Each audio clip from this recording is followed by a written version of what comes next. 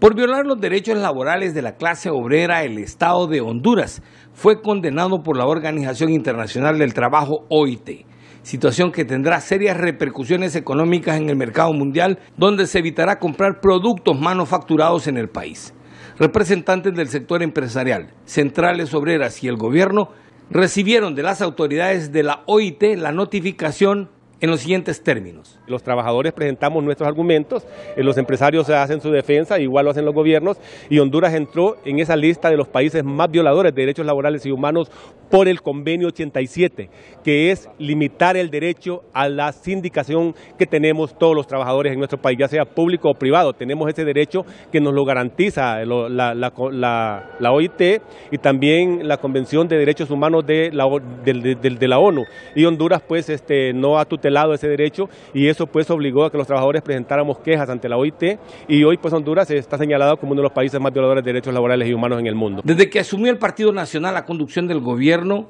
hace más de ocho años, se han despedido y continúan estas acciones ilegales contra más de 40 mil empleados públicos a los que se les niega el pago de sus prestaciones laborales, derechos adquiridos por negociaciones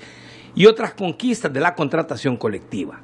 se impide la libre sindicalización, así como se le violenta el derecho a un salario digno, a la seguridad social, a jornadas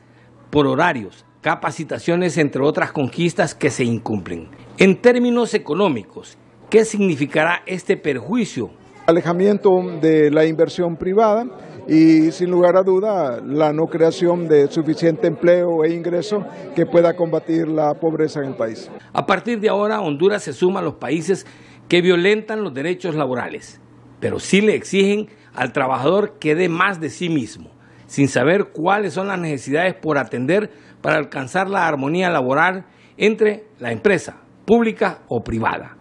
Desde Tegucigalpa para Telenoticias, Josué Mejía en cámaras y Marvin López Uchini, les hemos informado.